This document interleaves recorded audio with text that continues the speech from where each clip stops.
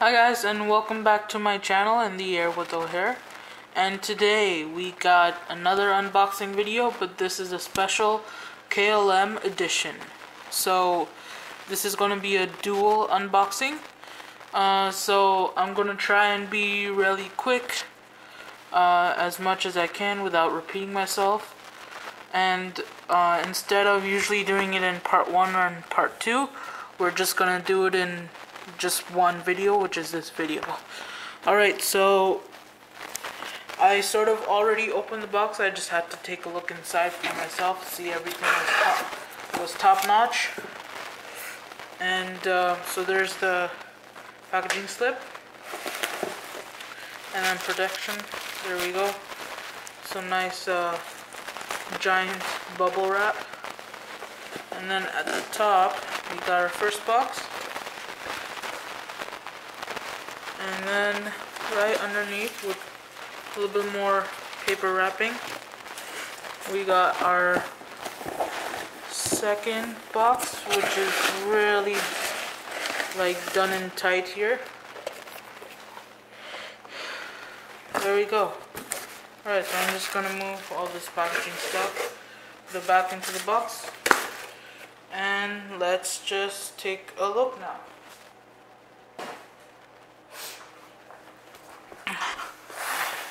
there we go. So let's start with this one. Uh, since it was on top and I know there's gonna be a couple jokes about that from some of my friends who watch my videos but anyway. Uh, so as you can see let's just get right into it. Um, this is the front side of the box. So we got the KLM logo with uh, one 400 uh, Premier collect uh, Premier. I don't know why it says Premier collect collection. Premier collection. Okay, there we go. And then at the top here we got the Dragon Wings logo. And uh, this blue is uh, like the old uh, KLM colors. So looking at the bottom, um, yeah, bottom of the box, we got Dragon Wings logo, KLM logo, 1400 uh, Premier Collection. And then on the right hand side, we have the same thing, as well as on top. And but on the side, we have uh, just uh, just some information about Dragon Wings and copyright uh, info and all that all the legal legal uh, shindig there. And then just got some information about the um, er, like the model itself that it's not suitable for children under 14 and it may have small parts. And then we have the recycling logo and yeah that's about it. Um, so this is a 20 uh, no, sorry 2003 release and then there's the registration.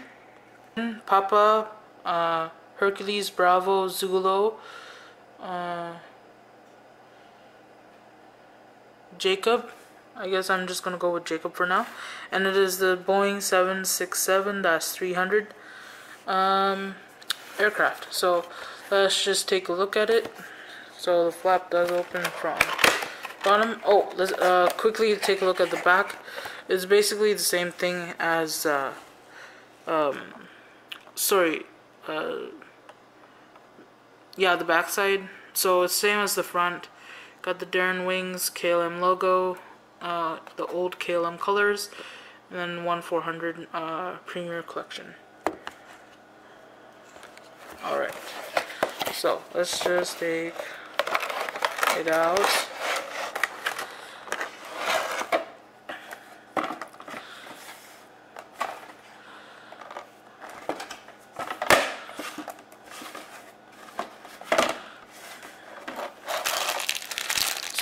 come with a stand. So it says KLM Boeing 767-300 and then uh, so sorry that's the base and then this is the this is stand here so let's just take that out.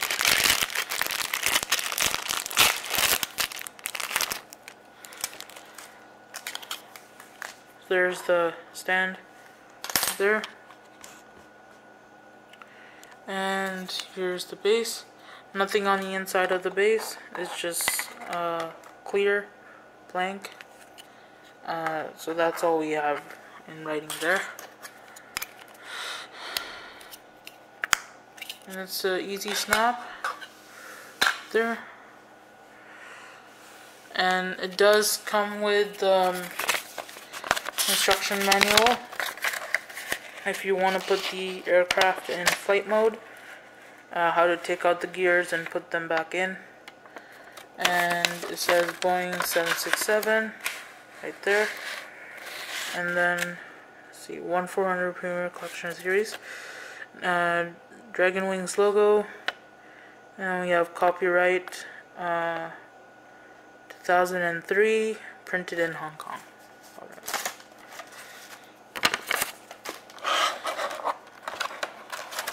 And then another thing to notice is it has engraved writing, so it has it says 767-300, and then it's hard to see, but it says Bravo, so there's a B for Bravo. Alright. Now let's take it out.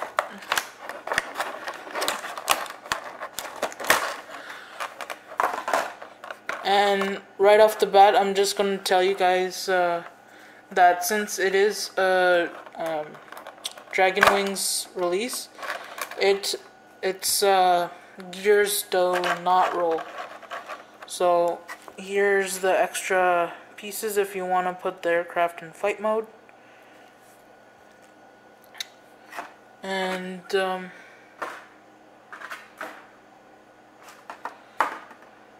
so I'm, I'm gonna put that back in the into the box.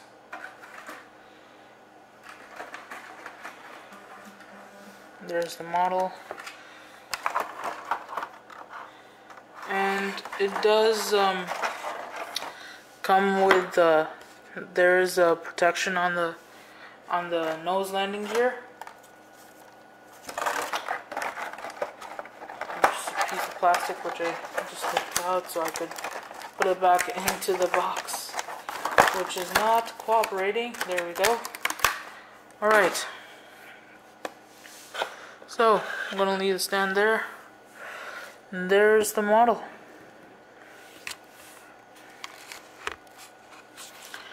So let's just uh, hop in right into it. Let's start from the left hand side. Alright. So, um, since this is a 2003 release, it's not very detailed. Um, so, there's the cockpit windows. You can uh, also see the windshield wipers there. Uh, it has the KLM Northwest logo. There. And then the KLM logo. Then you have the front uh, emergency exits. Uh, you have uh, the landing light there. And then engine is very detailed, so are the slats and um, we'll take a look at the engines from uh, the front side. But very good detailing. You can see the KLM logo there. And um,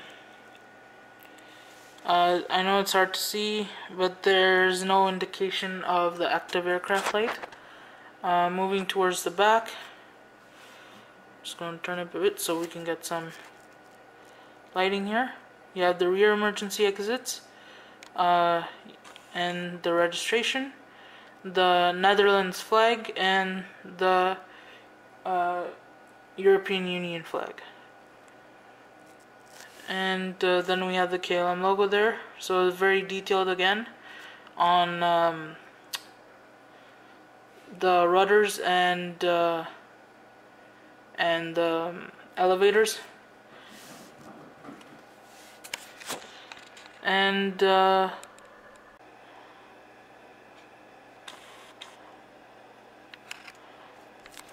Alright, let's now take a look at uh, the right side. So starting from the back. So again, very good detailing on this side too. uh, with the rudder and the elevators. You can sort of see that. And then um, just going to turn it a little bit towards the lighting here so we can see a bit more better. There we sort of go. Okay, so uh, there we go. So you can see uh, the rear emergency exits. Then you have uh, the European Union flag, uh, the Netherlands flag, and then the registration. And then you have the rear uh, cargo door bay.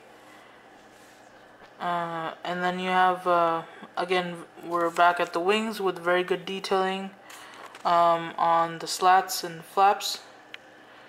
Um, engine, again, very good detailing. You can see that KLM there. KLM logo, nice, nicely. Alright, and then um, you can see the landing light there. And then coming towards the front, we have the front emergency exits, as well as the KLM logo and the front cargo door bay. And then we have the Northwest and KLM logo. Just a little bit hard to see right now because the camera's not focusing.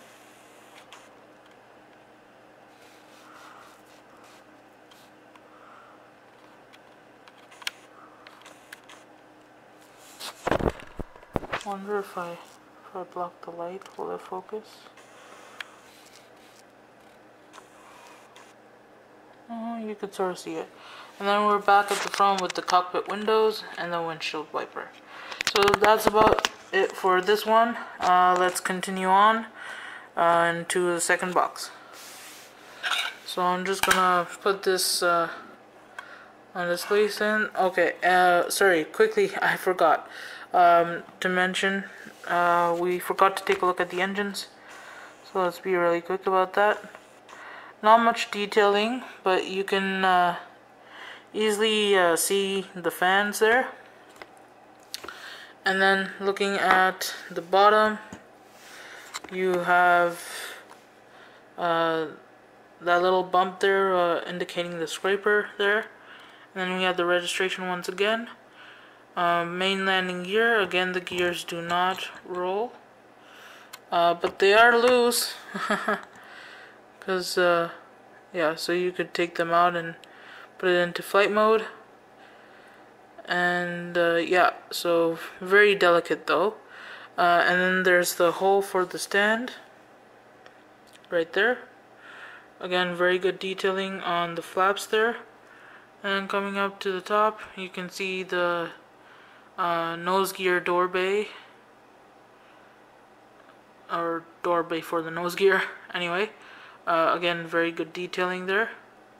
And then yeah so uh, minus uh, the point where uh, they don't have any uh, indication on the top of the aircraft uh, to indicate uh, any the active aircraft light or anything else and so very limited detailing again this is a 2003 model release um, but I just had to get it because for one, I didn't know that KLM uh, used to operate 767s. Um, they stopped operation, I believe, in 20, uh, sorry, 2007. And so when I saw that, I'm like, really? KLM used to operate? And then I did some research. Apparently, they did. Uh, so I'm like, okay, since this is a re retired aircraft, uh, I might as well add it to my collection. Uh, since KLM is one of my favorite airlines, um, next to WestJet. So yeah, uh, it used to be KLM was was my number one favorite uh, airline, uh, but then my experience with WestJet when I flew WestJet and uh, just their prices and just their service, I really like WestJet, and plus their even their old colors are very good. Uh, like it's very good on on their uh, aircraft, and I just and now their new uh, uh, modernized um, colors are even better. So anyway, uh, let's continue on to the second aircraft. I'm just gonna put this in stand. There we go. Nice and gentle. Alright, so this is going to be pretty quick because it's the same thing as the other box. Uh, so, only difference would be on this side. So, uh, again, all that is the same. The registration is different. Uh, so it's uh, Papa, Hercules, uh, Kil Kilo, Sierra, uh, I think it's Jake, I don't know. Uh, correct me in the comments or I might just write it once I find out the correct um,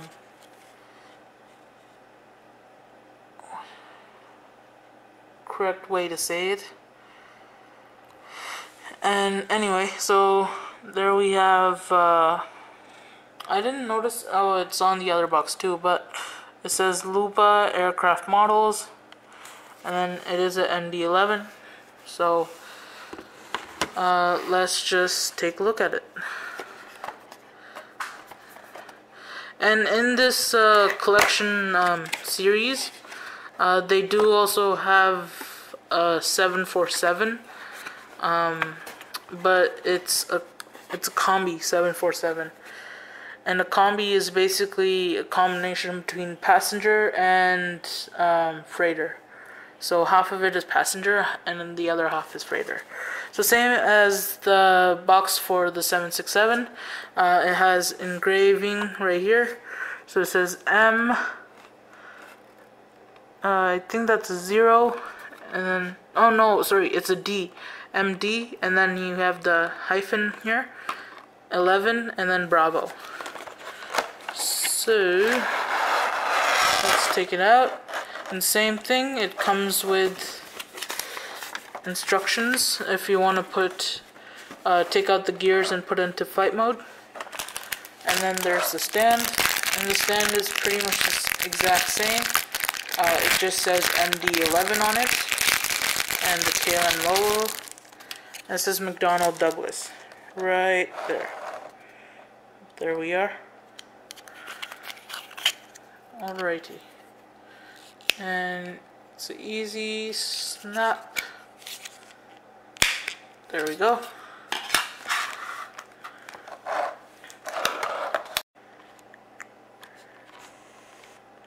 Alright, so I just had to stop uh, recording for one second and uh, I was just about to start opening uh, the protection covers here. And then I realized I wasn't recording. So that's why you can see it's sort of a little bit lifted. So anyway let's continue. I just need to clean up a bit. So I had some space to put the protection covers aside. And there it is.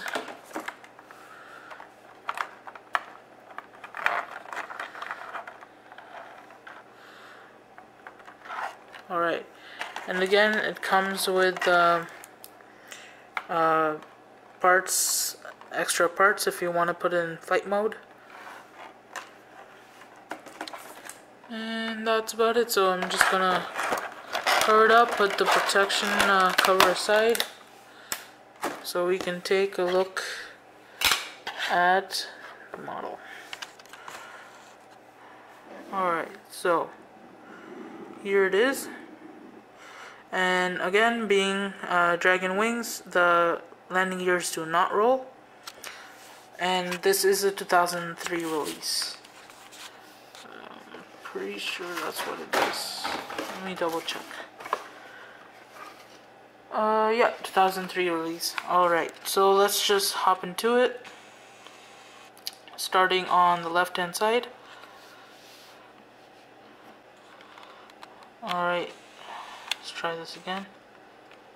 Okay, so uh, let's start on the left hand side so you can see the cockpit windows there. Uh, hard to see the windshield wipers, but we'll take a look at from the front. Uh, and then we got uh, the front emergency uh, uh, exits. And then we have the KLM logo and the old KLM Northwest logo right there. A little bit hard to see, but that's what it says. And um, moving on, uh, we have again very good detailing on the engine. You can see that KLM logo. It's hard to see. Actually, there's no indication of landing light. I'm guessing maybe this might be the landing light right there. Um, so correct me if I'm wrong in the comments. And then we have the over the wing exits. Very good detailing on the slats. And oop, and very good detailing on uh, on uh, the winglets as well. And then going towards the back here, we have the registration. Uh, Papa Hercules Kilo Sierra Jake, and then uh, we have the uh, Netherlands flag and the European Union flag, and then we have the uh, rear emergency exit. And again, very good detailing on the engine there, and as well as on the rudder and um, the elevators as well, very detailed. So let's take a look at the right hand side now. So starting from the back, again, very good detailing on this side as well. Uh, we have the rear emergency exit, and then we have the registration, and then you can see there the rear cargo door bay. Um, there's the KLM logo on the engine, again, very good detailing there as well, and over the wing exits. I think I already said that, but carrying on, we have the front emergency exits, uh, the KLM logo, and we have the front cargo door bay.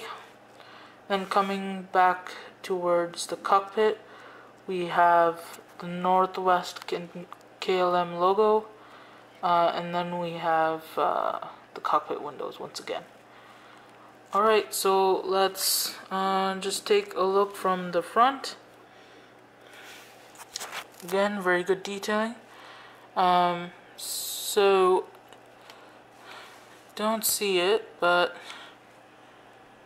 yeah, there's no indication of the windshield wipers. Uh, engines are very detailed as well.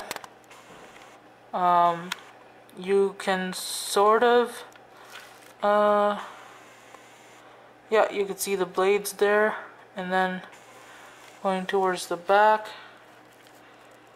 And on the top you have a little bit of detailing there uh, into the uh, fuselage mold itself. There's the other engine. And uh, looking from the top, you have good detailing on uh, the flaps right here. You can clearly see the flaps and the speed brakes uh, uh, flaps as well. And then, um, let's see, looking at the bottom, let's take a look at the bottom.